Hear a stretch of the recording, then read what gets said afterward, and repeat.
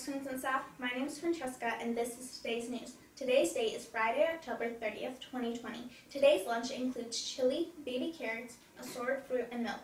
This year, all lunch orders are made online. Check with your parents to see which days you have ordered hot lunch. If you forget your lunch, please let your teacher know right away. Happy birthday wishes go out to Bryce Ashford on Sunday. Sam Manning celebrates his birthday. God bless you on your special day and always. If you see Bryce or Sam in the hallway, be sure to wish them a happy birthday. Happy Halloween tomorrow. Be safe. There is no school on Monday because of virtual conferences. There is no school on Tuesday due to election. See you next week. Thank you to Miss Cook for organizing a great election activity this afternoon. Miss Covington will reveal the election resort results. Thanks for voting.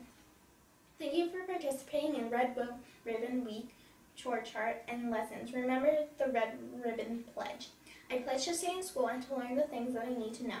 I pledge to make the world a better place for kids like me to grow. I pledge to keep my dreams alive and to be all that I can be. I pledge to help others and to keep myself drug free.